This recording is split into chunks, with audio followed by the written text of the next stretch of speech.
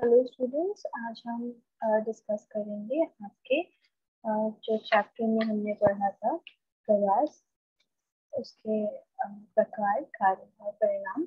उस चैप्टर के हम क्वेश्चन आंसर डिस्कस करेंगे आपके एग्ज़ाम के पॉइंट ऑफ़ व्यू से, क्योंकि आपको लिखने के लिए ज़्यादा इजी हो जाए मैं स्क्रीन शेयर कर रही हूँ। इसमें हम सबसे पहले देखते हैं आज के वीडियो में जो इंटेक्शन है, वो डिस्कस करेंगे हम पहले, उसके बाद हम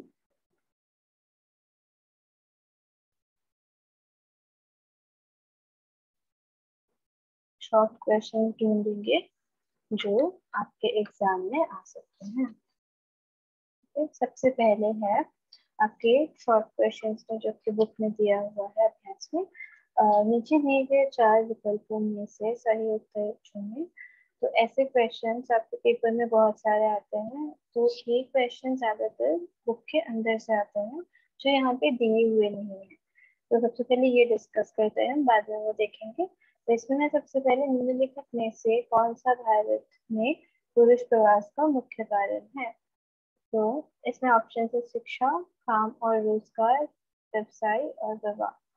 तो इसमें आंसर होगा, काम और रोज़गार, क्योंकि हमने ये ग्राफ देखा था। ये ग्राफ के हिसाब से ये पुरुषों के लिए है, इसमें क्या है?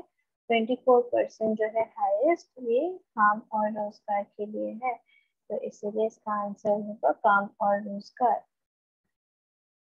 फिर सेकेंड में देखते हैं, क्या है?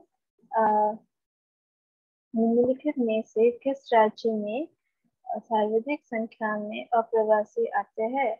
तो ये भी हमने पढ़ा था, जो वीडियो है उसको उसको आप देख सकते हो, उसमें आपको मैंने समझाया था कि किस राज्य में सबसे ज़्यादा अप्रवासी होते हैं, वो है महाराष्ट्र में, जो कि दो मिलियन से भी ज़्यादा है, दो हज़ार एक जनगणना के हिसाब से। थर्ड जो क्वेश्चन है, वो है निम्नलिखित में से कौन सा भारत में महिला प्रवास का मुख्य कारण है। ये जो था, ये पुरुष प्रवास का मुख्य कारण था। पहला सवाल तीसरे में ये है कि महिला प्रवास का मुख्य कारण क्या है? इसमें ऑप्शन है शिक्षा, व्यवसाय, काम और रोज़गार और विवाह। तो इसमें होगा आंसर विवाह, क्योंकि ग्राफ में देखे तो 66 परसेंट जो प्रवास हो रहा है, वो विवाह की वजह से ही हो रहा है तो आंसर विवाह ठीक है?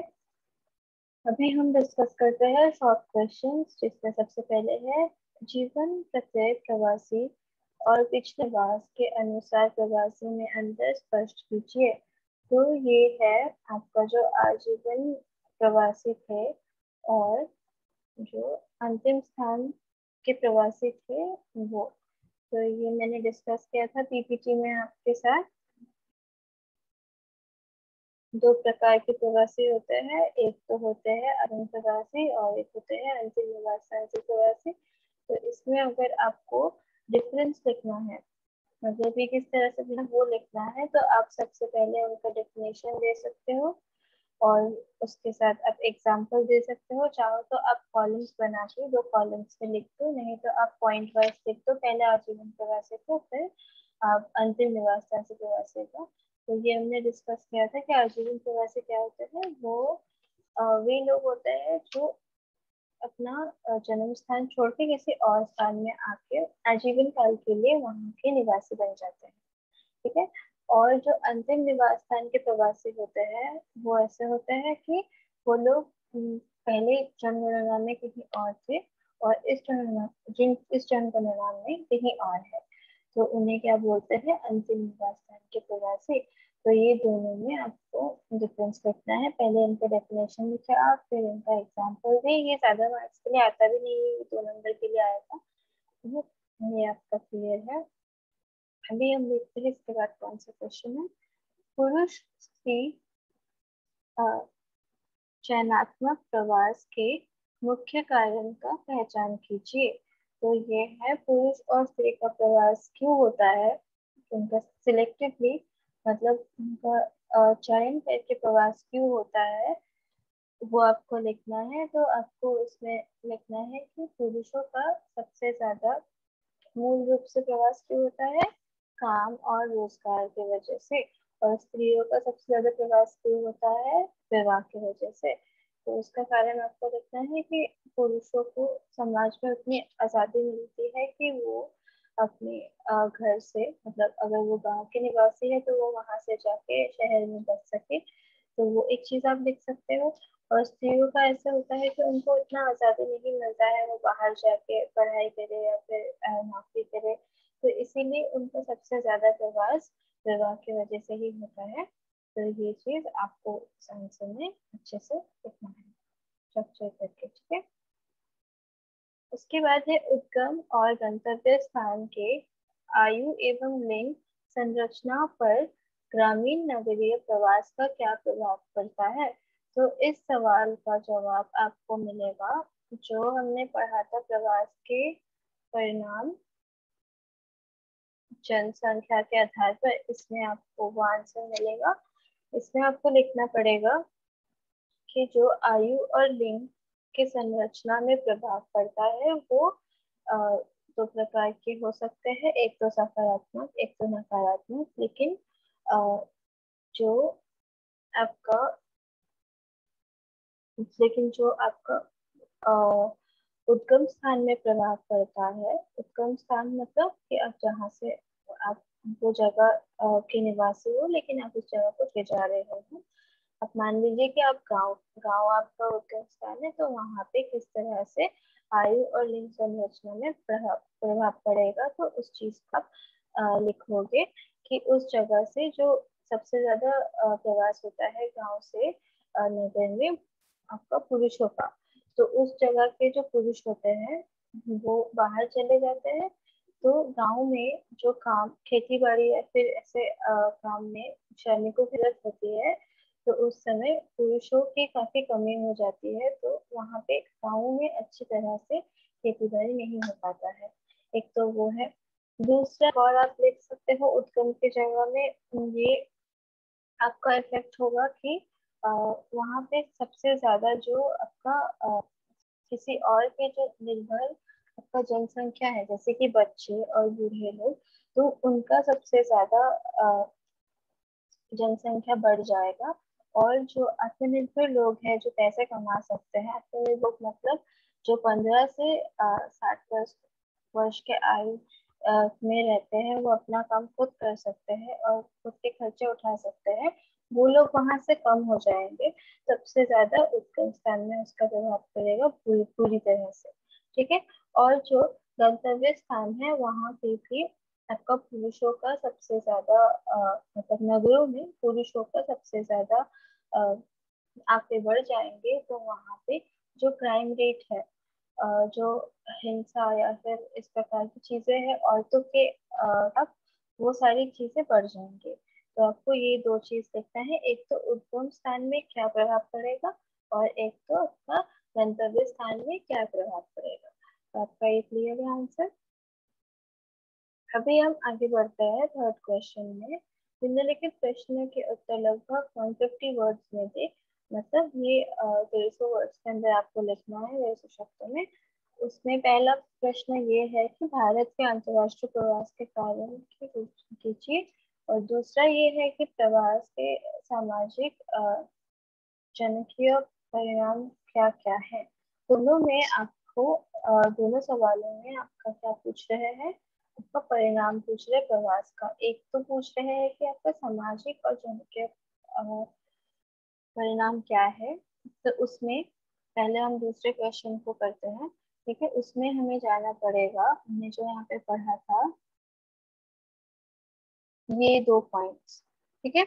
इन दो पॉइंट्स को ये आपको मैंने अभी सेकंड वाले के लास्ट आंसर के लिए बता ही दिया है। आपको इसमें से कैसे लिखना है, उसको आप जोड़े। उसके साथ आप उसके जो सामाजिक प्रवास के जो सामाजिक परिणाम है उसको भी आप लिखे कि किस तरह से समाज सामाजिक रूप से प्रवास का प्रभाव पड़ रहा है।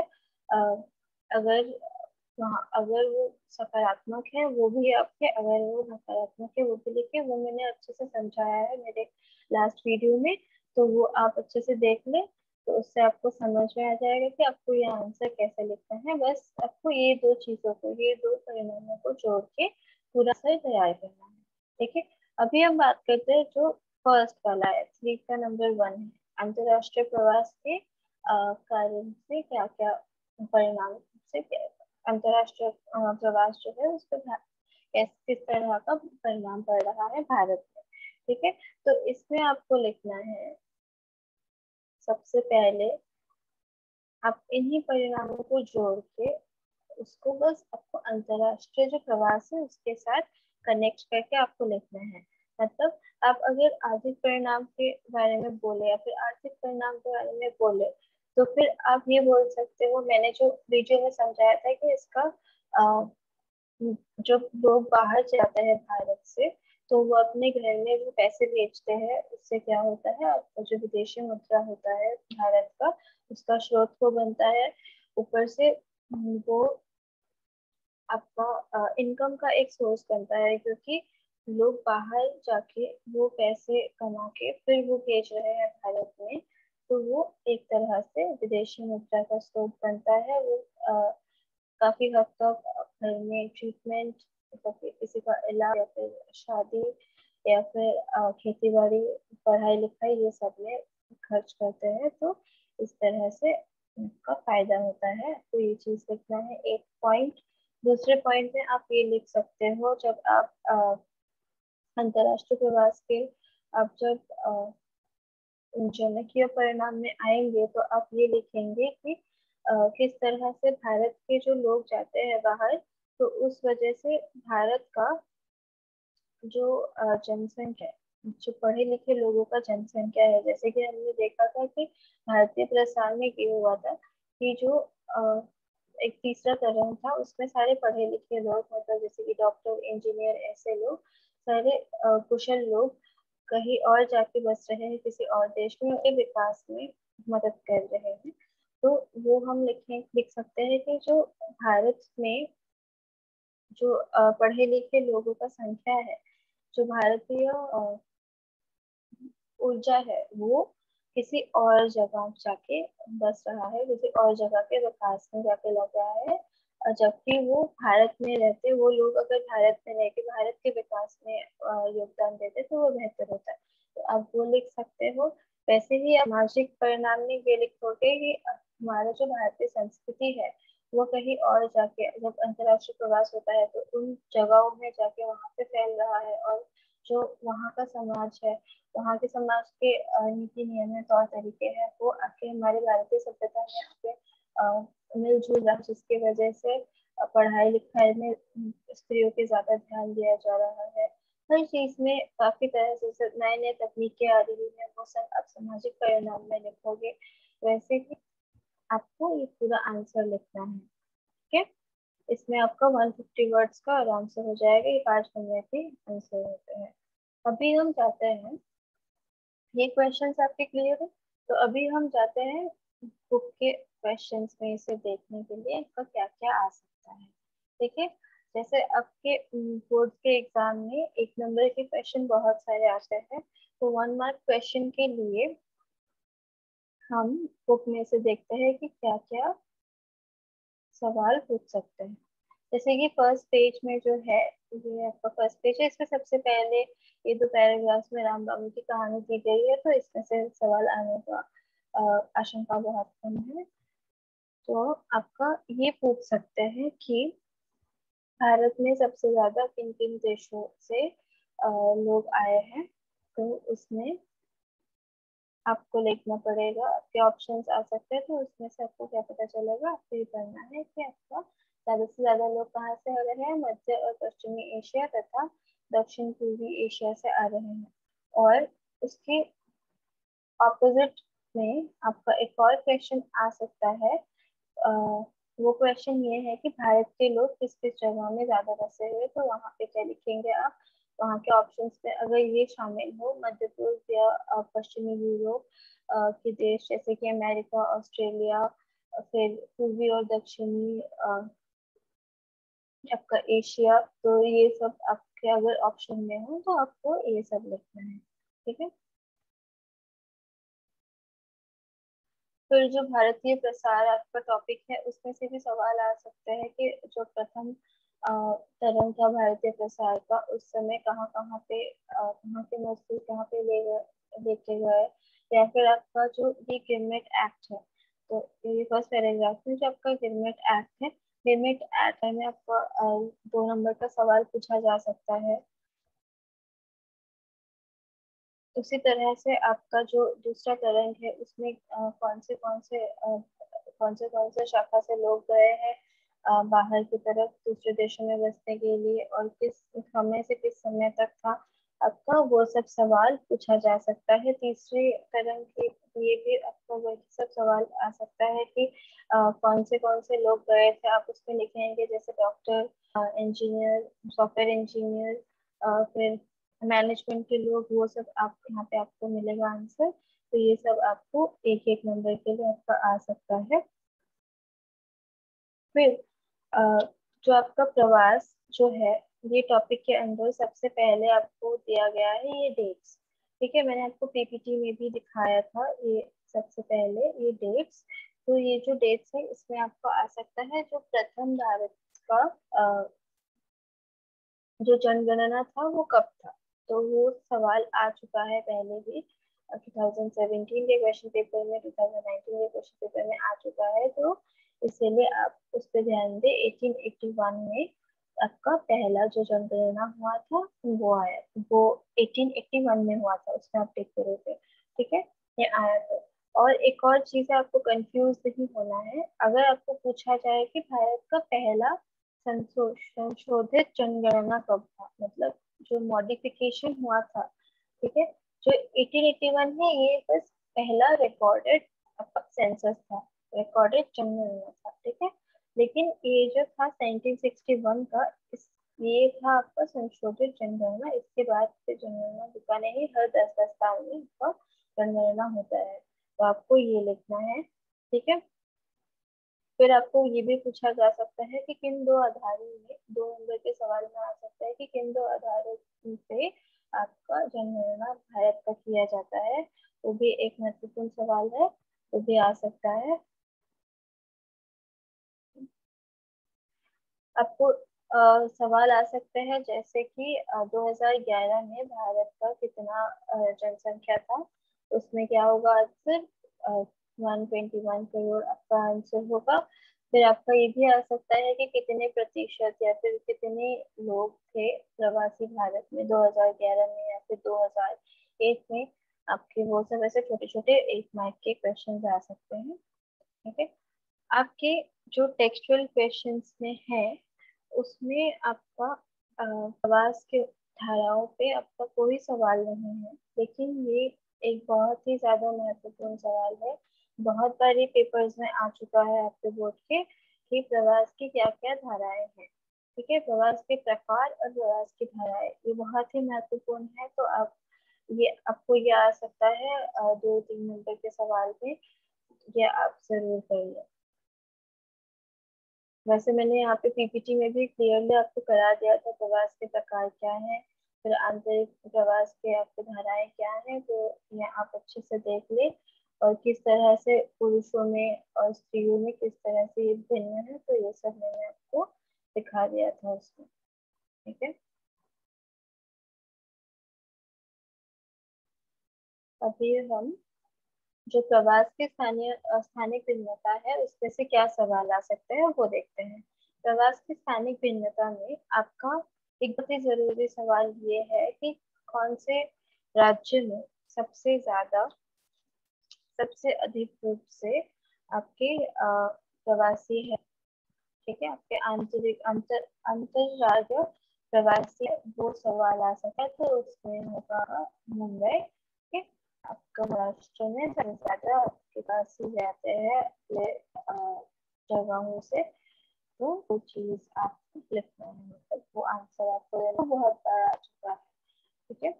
और मैं, एक और है कि आपके जो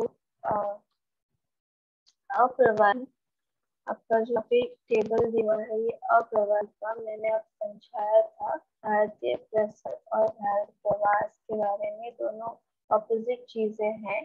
तो ये दोनों का जो डिफरेंस आपको पूछा जा सकता है। दोनों किस तरह से भिन्न है, वो आ रहा है आपकी रिसेंटली जो आपका एग्ज़ाम हुआ था, उसमें तो 2021 एग्ज़ाम में आपका भारत प्रसार और भारत अप्रवास का आपका डिफरेंस पूछा गया है। ये मैं वीडियो में समझा दिया था दोनों चीज़ें अलग है। भारतीय बात ये है कि जो लोग भारत से बाहर जाके किसी और देश में बस रहे हैं। और भारतीय प्रवास ये है कि जो प्रवासी किसी और जगह से आके बसते हैं भारत में, उनको क्या बोलते हैं? अप्रवासी। ठीक है? तो ये दो चीज़ ये दो चीज़ के बीच में आपको कंफ्यूज नहीं होना है ये दोनों चीज़ों को अच्छे से डिफ्रेंशिएट करके आपको लिखना है एग्जाम्पल्स के साथ आप आंकड़े भी दे सकते हैं। ओके तो अभी हम जानते हैं कि प्रवास के कारण में से क्या क्या हो सकता है क्या क्या सवाल आ सकता है। तो प्रवास के कारक मैंने आपको समझाए थे इसका कोई आ, सवाल है नहीं आपके क्वेश्चन उसमें इन टेक्स्ट क्वेश्चन में। इसके चैप्टर के एंड में जो क्वेश्चन दिए गए हैं, उसमें किसी प्रकार का सवाल है नहीं, ये बहुत ही इम्पोर्टेंट है। आपका बहुत बार ये आता है, इस चैप्टर में से ये बहुत ही इम्पोर्टेंट महत्वपूर्ण सवाल है कि प्रवास के कारण क्या क्या है। तो उसमें आपको दोनों कारक के बारे में लिखना है, प्रतिकर्ष कारक और अपकर्ष कारक के बारे में। प्रतिकर्ष कारक में क्या क्या आते हैं, उनको लिखना है अपकर्ष कारक में क्या क्या होता है उनको लिखना है या तो आप पॉइंट वाइज लिख ले या फिर आप एक कॉलम बना के अब दोनों को सेपरेट करके साइड बाय साइड लिखते जाएँगे, ये ये है। कभी कभी आपका प्रतिकर्ष कारक और अपकर्ष कारक के बीच में डिफरेंस भी पूछा जाता है मतलब दोनों किस प्रकार से इन्हें वो भी पूछा जाता है तो आपको उसमें भी कंफ्यूज नहीं होना क्योंकि दोनों ऑपोजिट चीज़ें हैं। मैंने समझाया था वीडियो में भी दोनों ही उल्टी चीज़ें हैं। एक चीज़ क्या करता है, एक कारक, एक तरह के कारक आपके लोगों को एक जगह की तरफ़ आकर्षित करता है और दूसरी, दूसरा जो है आपका प्रतिकर्ष कारक, वो लोगों को उस जगह से भगाता है। ठीक है? तो ये दोनों चीज़ों को आपको अच्छे से लिखना है। इसमें से आपका यही आ सकता है सवाल। फिर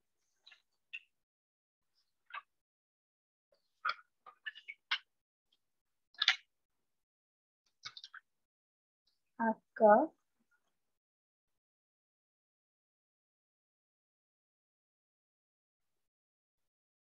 प्रतिकर्ष कारक में क्या क्या चीज़ें हैं?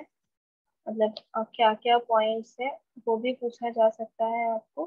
तो वो आप पॉइंट वाइज लिख दे तो आपको ज़्यादा मार्क्स मिलेगा। अपकर्ष कारक में क्या क्या चीज़ें हैं आपको वो भी लिखना आ, लिखने के लिए आ सकता है। जैसे कि अगर आए कि अपकर्ष कारक के अपकर्ष कारक में क्या क्या चीज़ें आती हैं तो वो आप अच्छे से पॉइंट्स में लिखे कि जैसे अच्छी शिक्षा या फिर अच्छा आपका मनोरंजन आपका अच्छा मिलता है तो लोग वैसे भी जाते हैं, फिर आपका काम मिलना उस जगह में ज़्यादा से ज़्यादा नियमित तौर से आपको काम मिलना या फिर आपको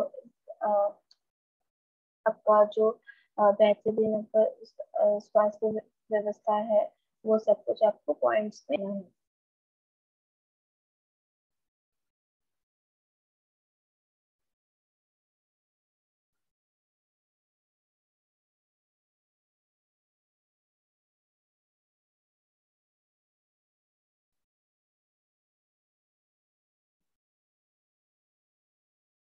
अभी हम प्रवास के जो परिणाम है, उसमें से क्या क्या सवाल आ सकता है वो देखते हैं।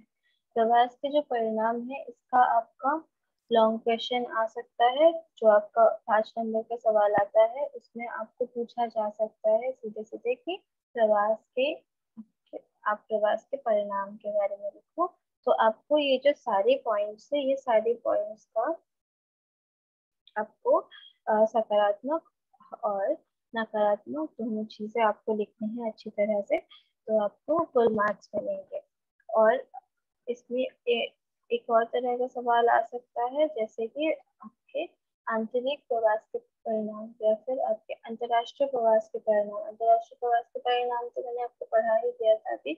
ये जो सवाल था थ्री वन में भारत में अंतर्राष्ट्रीय प्रवास के कारण की विवेचना कीजिए उसमें मैंने आपको बता दिया था। उसी तरह से आपको उस आंसर को थोड़ा सा मॉडिफाई करके लिखना है, आपके आंतरिक प्रवास में अगर आए तो। उसी तरह से आपको किसी एक ऐसे स्पेसिफिक उसका भी आ सकता है मतलब दो नंबर में आपको ऐसे भी दे सकते हैं कि प्रवास के सामाजिक परिणाम बताए आप, या फिर प्रवास के आप आर्थिक परिणाम बताए तो उस प्रकार भी आप सवाल आ सकता है।